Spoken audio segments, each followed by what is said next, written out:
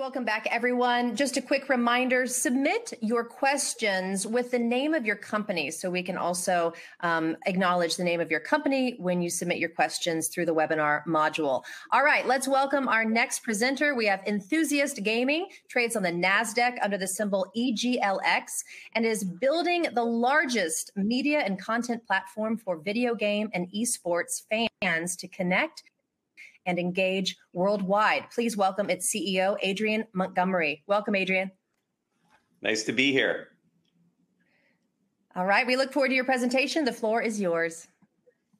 Thank you so much, and, and thanks to everyone who uh, is taking time out of their busy day to, to hear the Enthusiast Gaming story.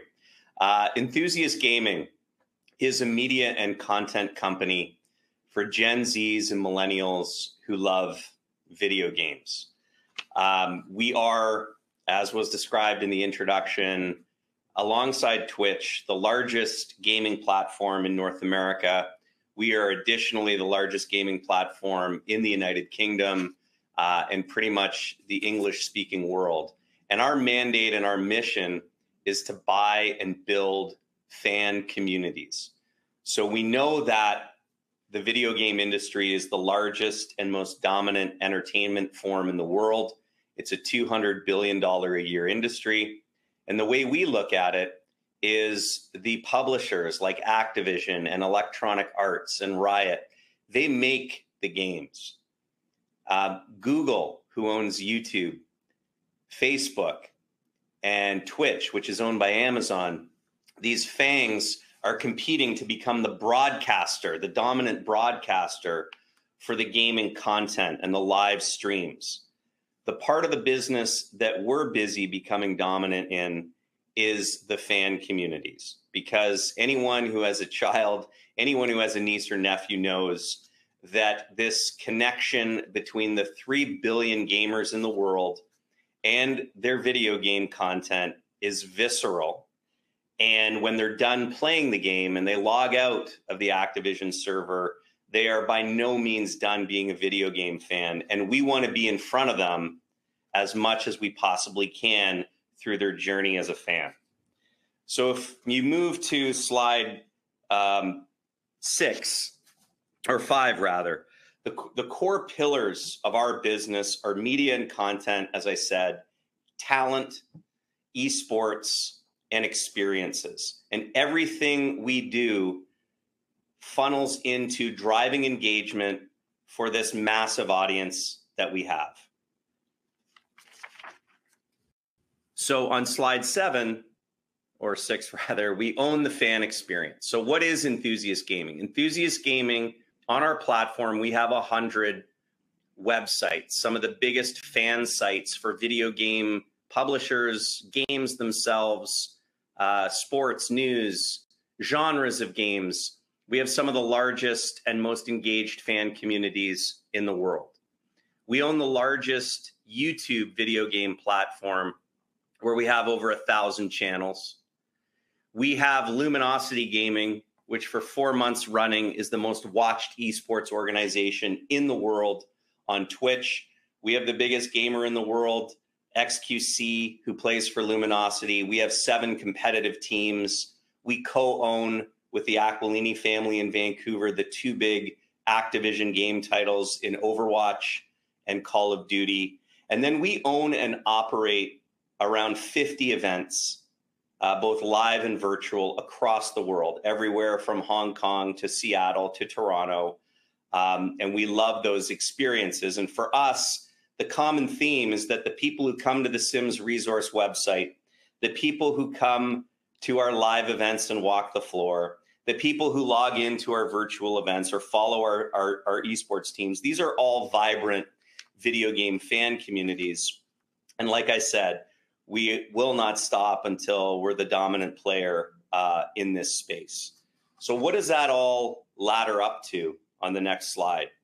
We have over 300 million people a month that come to our platform.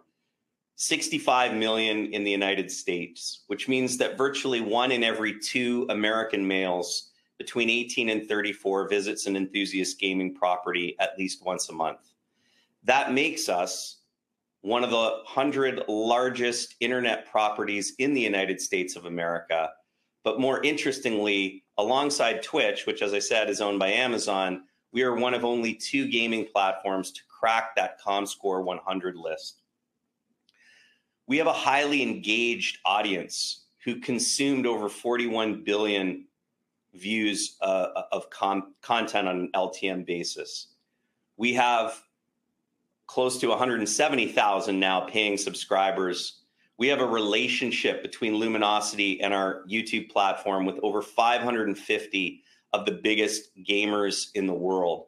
So, in an age where people are running around pulling their hair out, trying to figure out how to engage with Gen Zs and millennials because they don't watch television. Three and four don't watch television. 60% of Gen Zers prefer esports to traditional sports. They live on their console, they live on their smartphone. It is very, very difficult to reach Gen Zs at scale and to have them pay attention to you. So when you can represent, as Enthusiast Gaming does, that we connect with over 300 million of those folks a month and that we speak to them in a very genuine and authentic fashion through their shared love of gaming, we have a very rare and a very powerful platform to build a fantastic business off of. we move to the next slide, which I think we covered. The next one. So again, some some demographic information about Gen Zs and the connection that they have with games, the connection that they have with esports. But more importantly, this is a cohort that is going to be the most disruptive cohort uh, of all time. Currently, they represent $7 trillion of global spending, but that's going to increase to over 33 trillion by 2030. And so they're going to be the most lucrative uh, cohort out there. And it just so happens, again, that feeds into our strategy. Not only are, are they going to be the most lucrative, but they're also the most highly elusive demographic. So to be able to reach them and engage with them and have them come back to our platform again and again, again, gives us a very rare uh, and unique advantage in the marketplace. One of the things that's fueling this dominant video game industry that is such an important point that cannot be overstated is that gaming is the next is the new social network. So 10 years ago there was a fantastic uh, trend a migration that happened away from traditional media to social media. And the, the investors that saw that early and saw facebook for what it was early and youtube and twitter um, they obviously did very very well. There is a new migration happening, and that is occurring away from traditional social media to the new social media of games. When young people go and play Fortnite every night, they're as interested in making new friends and talking to their existing friends as they are to play the games themselves. So, gaming as the new social network is a very powerful current and a very powerful tailwind for a business such as ours. Next slide. 63% of enthusiast audience, to underscore this point, don't even use Facebook. If you have a teenager in your house, I'd bet my mortgage that they're not on Facebook, but they are playing video games and they are congregating in our fan communities to discuss their love of video games. So the question is how do you build a business from that? When you have an audience as strong and as loyal as we do, you can build a number of lucrative economic and revenue streams off of that audience. So, in terms of our investment highlights, we're the leading media gaming platform in North America. We have a number of incredible industry and demographic tailwinds behind us. We speak, we're, we're Gen Z whisperers, if I if I can say that and we have a robust monetization path. And as well, we're an acquirer of choice for these fan communities, and I'll take you through that in a little bit. I think we've really discussed the industry tailwinds.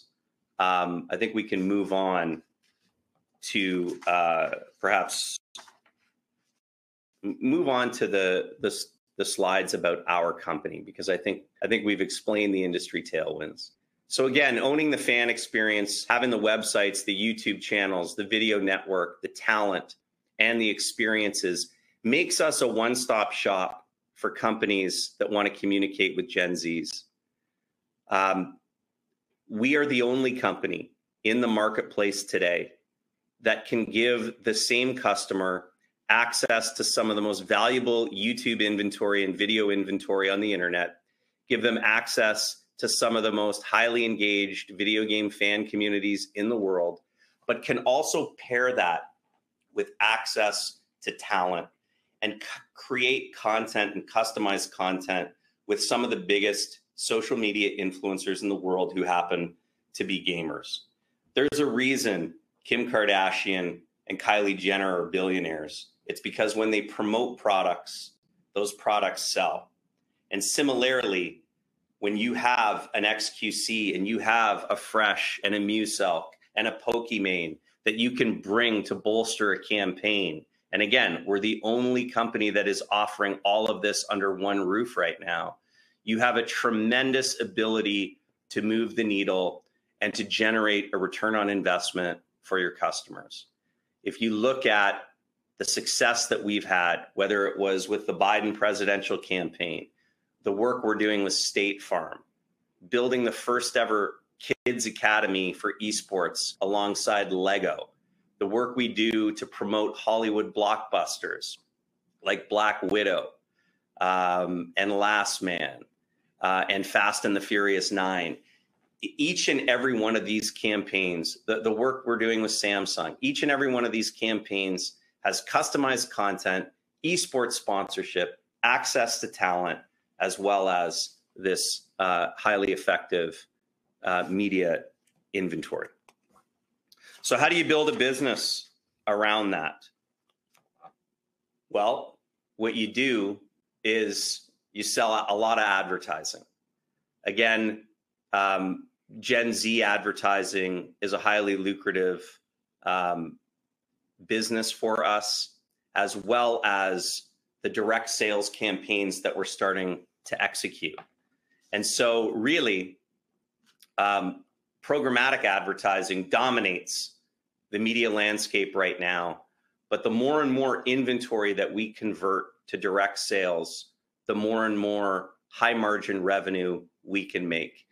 And we've had a lot of success with our direct sales campaigns. In Q1 of 2020, we hired our first direct salesperson. Uh, fast forward a year in Q2 of 2020, we rejoiced when we did 600,000 of direct sales revenue.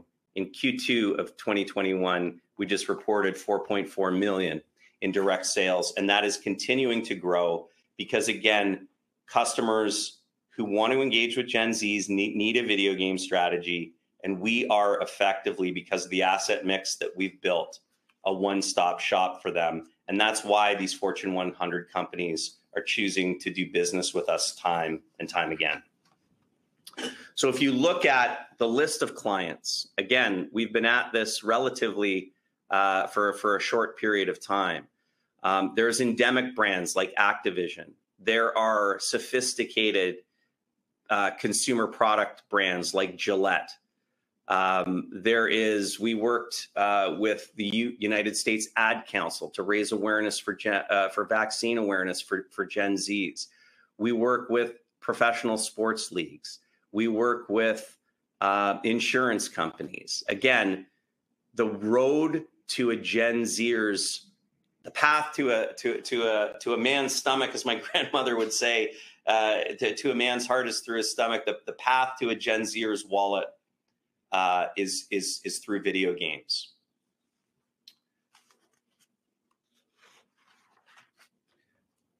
So fast forward to um, to our growth strategy. Um, look, here's the business model in simple terms. We sell advertising both programmatically and directly. We're starting to sell a lot of subscriptions. We've grown that business from 50,000 at the start of last year to over 170,000 today. That's recurring revenue at an average price point of $5 US. And when you have a denominator of 300 million people, there's a lot of subscription and premium content that you can package and sell to this audience. So we're very excited about the growth potential um, of subscriptions. And then as we move through the life cycle of this business, we have an opportunity to license our content. We have an opportunity to build social platforms and e commerce platforms. And it all comes from the respect that we have to build this highly engaged, large audience of Gen Zs and gamers. So, programmatic advertising, direct sales, subscriptions, moving into e commerce, moving into a social platform. That is our organic growth strategy. And that's how we've been able to take this business from 16% gross margin to 21.5% gross margin in only a few quarters. We expect continued margin growth in our company, um, and that's on the organic side. On the mergers and acquisitions side, the there is no shortage of fan communities for us to buy. And these are highly, highly uh, high margin businesses as standalone entities because most of the content is user generated. So we can buy profitable standalone fan communities. We're very well respected in the industry for, for respecting the, the grassroots, authentic nature of these communities and for allowing them to flourish. So we've done a number of acquisitions for this year, none of them in a competitive process because people want to work with us and become part of our flywheel. And then when we take that standalone business and we give our 30 person direct sales team access to the inventory. And we give our uh, uh, subscriber acquisition and retention people access to build subscription and freemium models off of that. And we start to use our audience to amplify the popularity. We make that flywheel churn. And that is what is driving this, this relatively significant growth in our margin and driving, you know, what has been 25, 30% growth just organically uh, on our revenue. So we're feeling really good uh, about the state of our business. Um, we have a lot of runway in front of us. We have a robust pipeline of acquisition targets. We have a number of joint venture partnerships. And it all comes down to the fact that we have a very large, very hard to find audience who is highly engaged and they come back to us again and again each and every month. So I might stop there and ask if, if there are any questions.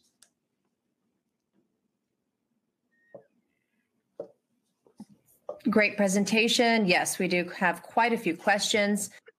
Um, Braxton Kane says the purchase of Addicting Games marks the first time Enthusiast has acquired a game developer. What made this an attractive asset for you and your team?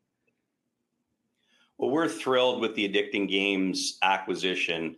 Um, not only does it add 10 million uh, players a month who are spending an average session time of 15 minutes a month, not only does it give us a toehold into this $80 billion a year casual games market with a very, very recognizable brand and great titles like Type Racer, uh, Little Big Snake, Math Games, et cetera, et cetera. Not only does it also give us uh, an ability to bolster existing revenue streams like subscription, but it gives us access to new revenue streams like in app purchases and in game advertising. But at the end of the day, we are very disciplined about building communities and building fan communities. And the one thing that powers the engagement of any fan community is great content. And Addicting Games has great content that is going to power the engagement of our communities. Not to mention the fact that we now have a 30 person strong game developer that we can take into our next meeting with a Pepsi or a Cadillac and say, not only are we going to give you the sponsorship, not only are we going to give you access to the talent, but let's create a customized game that we can make popular. Um, our sales team is really excited about having that arrow in their quiver. And so it, it's just very strategic on a number of levels, not to mention uh, accretive to margin, accretive to revenue, and a profitable business on its own. Thank you for that. Uh, Ethan Villa says last month, Entain announced that it would purchase Unikrn Esports and that the company would name a head of esports. This would seem to be the first big move by a betting and gambling company into esports and competitive gaming. What do you and your team look at this space, and how do you consider deals like that? Well, Entain is is a massive company, and they recognized what what we've seen, which is that the future is not only in in esports from a betting perspective, but that the Gen Z and millennial cohort that play video games um, over index on their likelihood to participate in betting and iGaming. If you look at the Entain, and I encourage everyone to look at the Entain investor presentation from, I believe it was August 12th, it says right here video gamers are up to 4.3 times more likely to participate in betting, and they're up to four and a half times more likely to participate in iGaming. And for us at Enthusiast, we see the same data. And what's really exciting right now is these media betting partnerships that are being announced on an almost daily basis um, are going to uh, revolutionize the media landscape going forward.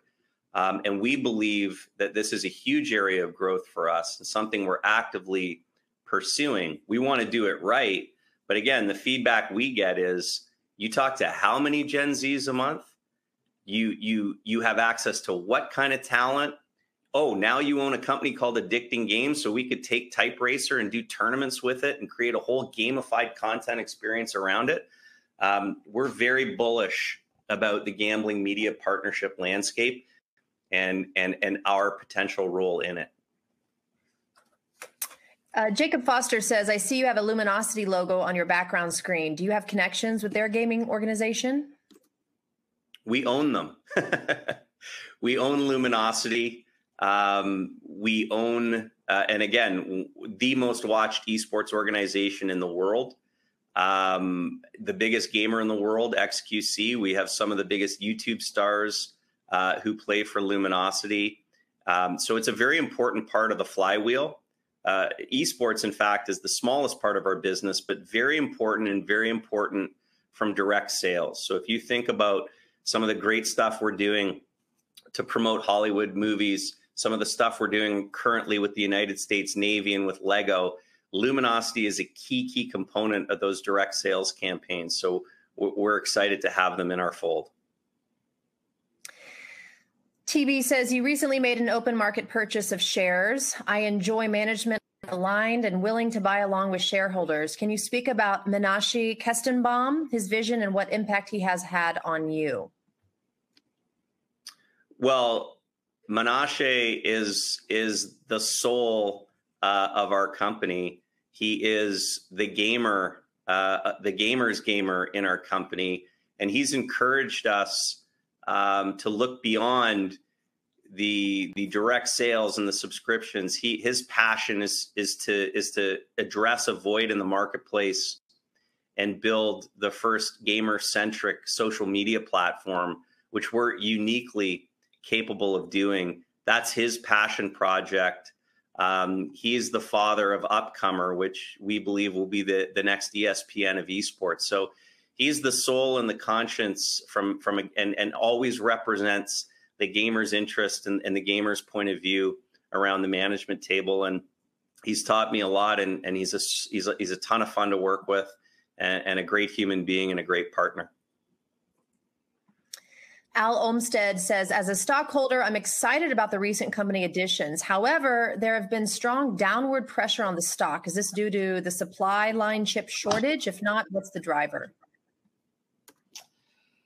Well, I, I, I can't comment on the stock. Um, I all I know is what we're building, uh, and I know why we're building it. And if you look at where this business is today versus where this business was at a year ago, if you look at the strong growth in margin, the M&A that we've done, the bolstering of the fan communities, the surge in subscriptions, the surge in direct sales, I'm proud to say that this hardworking management team has done what they've set out to do, not to mention reducing leverage, uh, increasing our cash balance, really putting ourselves in the in the pole position seat to build the dominant fan community platform for video gamers in the world.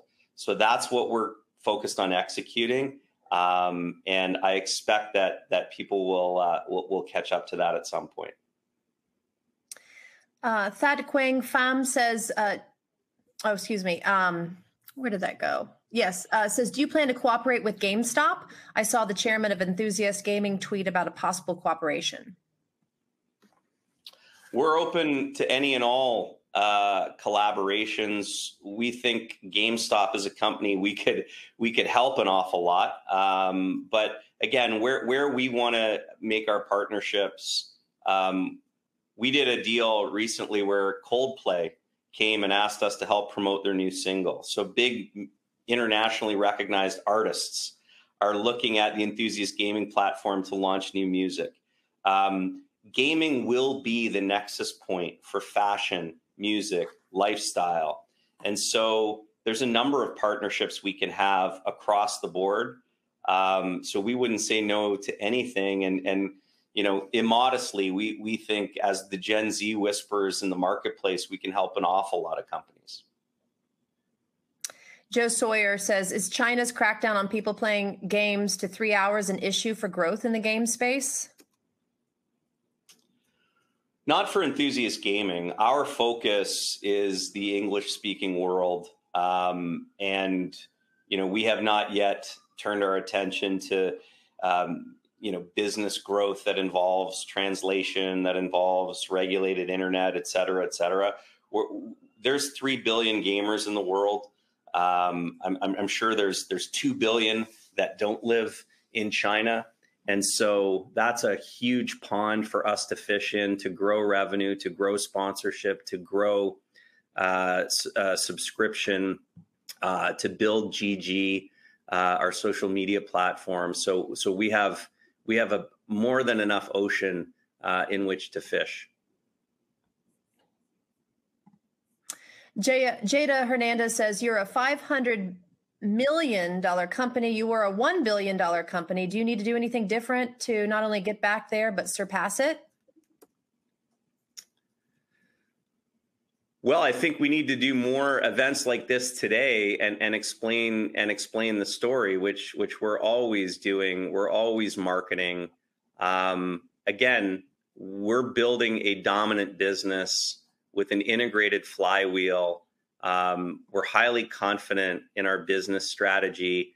Uh, we are a, a more, a more financially healthy company than we were when, when we had that billion dollar valuation we have more fan communities than when we had that valuation.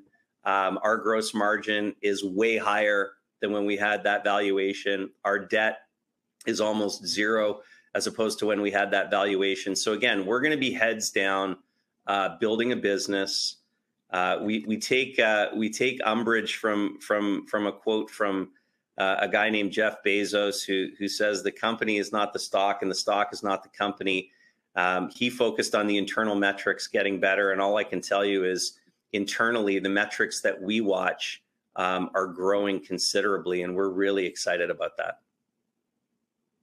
Fantastic. Um, I think we have time for one more quick question. Matthew Smith says Gen Z is the basis of a lot of demographics presented. What can you do to bring attention to the Gen Xers who might have more cash to pay for the subscription? I think I'm a Gen Xer. I'm a Gen Xer. I'm a Gen Xer too, and it, it always bothers me when people call me a baby boomer because, you know, I remember when Kurt Cobain died. Okay, so I'm a Gen Xer and a proud Gen Xer. Me too. Um, and uh, and and what and, and remember the MTV Unplugged with that green sweater he wore. So I'm I'm, I'm a bona fide Gen Xer. Um, look, one of the reasons uh, we bought Addicting Games was to broaden our reach. Casual gamers, you know, 50% of people up to and including the age of 45 or 50, according to Variety, uh, play casual games. It's not just about logging in and playing Call of Duty on your high tech uh, basement setup. It's about playing those games every morning, like like Type Racer and Little Big Snake uh, on on the subway or or in the Uber on the way to work. And so um, you've touched upon one of the reasons we bought Addicting Games to broaden our reach um, into into older demographics because you know everyone is a gamer. Well, we'll end with that. Uh, great presentation. We have more questions for you, but we'll send them directly to you, Adrian, so you can address on your own time. Thank you so much for joining us on the Emerging Growth Conference, and we hope that you'll join us again and give us some great updates. Thank you so much. All right, everyone. Remember, as we transition to the next presenter, you'll see a black screen, but stay with us. We're coming right back.